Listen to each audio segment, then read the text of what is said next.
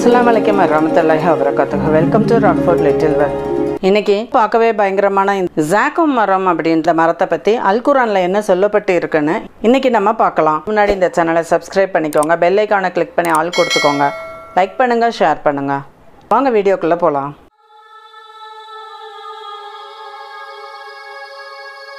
ஜாக்கம் மரம் அப்படின்ற இந்த மரம் பூமியில் பார்க்கும்போதே ரொம்ப பயங்கரமாக இருக்குது இந்த மரத்தை பார்க்கவே பயங்கரமாக இருக்குது இந்த மரத்தோட ஒவ்வொரு கிளைகளும் களிச்செடி மாதிரி இருந்து அதோட பூக்கள் அதோட பழங்கள் டெவிலோட தலை மாதிரி அப்படியே தொங்கிக்கிட்டே இருக்குது ஒவ்வொரு கிளையிலையும் அந்த டெவிலோட தலை தொங்குனா எப்படி இருக்குன்னா அது மாதிரி தொங்கிக்கிட்டு இருக்கு. அந்த அளவு பார்க்கவே இந்த மரம் ரொம்ப பயங்கரமாக இருக்குது இது நரக நெருப்பின் ஒரு மரம்னு அல்லாஹு சொல்கிறோம் சொல்கிறான் இது நரக நெருப்பில் எப்படி இருக்கும்னு கற்பனை செஞ்சு பார்க்கவே ரொம்ப பயமாக இருக்குது இந்த விருந்து சிறந்ததா அல்லது ஜாக்கும் மரமா?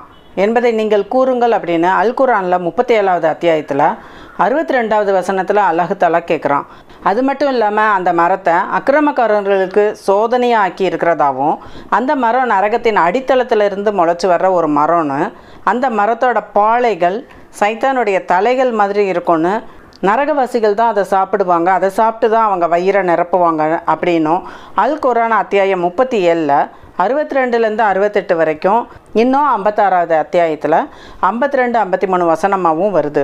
இந்த ஜாக்கோ மரம் பாவியின் உணவாக இருக்கும். அது மட்டும் இல்லாமல் எண்ணெய் கசடு போல் இருக்கிற அந்த சேக்கம் மரம் சூடேறின தண்ணி கொதிக்கிறது போல் வயிற்றில் அது கொதிக்கும்னு சொல்லப்பட்டு இருக்கு. இன்னும் நபியே நாம் உமக்கு காண்பித்து தந்ததையும் குரானில் சபிக்கப்பட்ட மரத்தையும் இந்த மக்களுக்கு ஒரு சோதனையாகவே ஆக்கியிருக்கும்.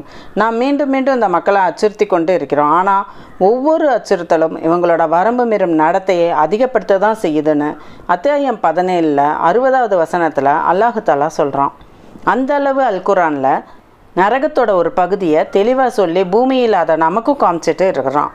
அவ்வளவு பார்க்க பயங்கரமாக இருக்கிற இந்த மரம் நரகத்தில் இதுதான் இருக்கும் இதைத்தான் நம்ம சாப்பிடணும் இதைத்தான் நம்ம வயிறை நெப்பணும் அப்படின்னு நினைக்கும் போதே ரொம்ப பயங்கரமாக இருக்குது அல்லாஹு தான் நரக நெருப்பின் வேதனையிலிருந்து நம்ம எல்லாரையும் பாதுகாக்கணும். வேறொரு நல்ல பதிவில் மீண்டும் சந்திக்கலாம். அதுவரை இந்த சேனலை சப்ஸ்கிரைப் பண்ணிக்கோங்க. பெல் ஐக்கானை கிளிக் பண்ணி ஆள் கொடுத்துக்கோங்க. லைக் பண்ணுங்கள் ஷேர் பண்ணுங்கள்